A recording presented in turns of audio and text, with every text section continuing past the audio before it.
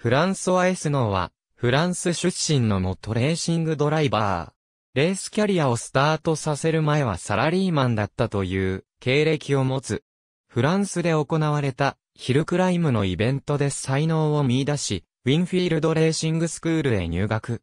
卒業後、フォーミュラルノーでレースデビューを果たす。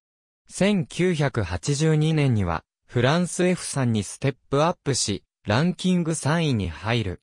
翌年にはランキング2位に入る活躍を見せ、1984年にフランスチームの理事から F1 デビュー。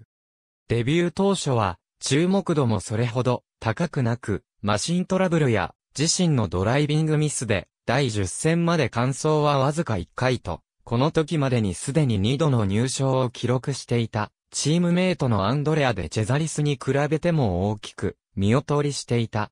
しかし、第11戦からは3戦連続でシングルフィニッシュするなど、ポイント獲得寸前のレース運びを見せ、翌年のブラバムのシートを獲得した。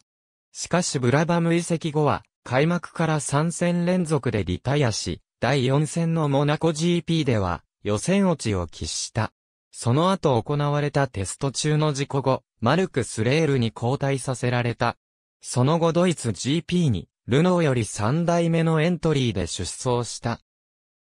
S ノーのマシンは、旧型のものだったが、このマシンには、F1 の公式セッションで初めてテレビ放送用の車載カメラが搭載された。決勝にも車載カメラを搭載して出走したが、リタイアに終わった。エスノーはこのレースを最後に F1 を引退した。ありがとうございます。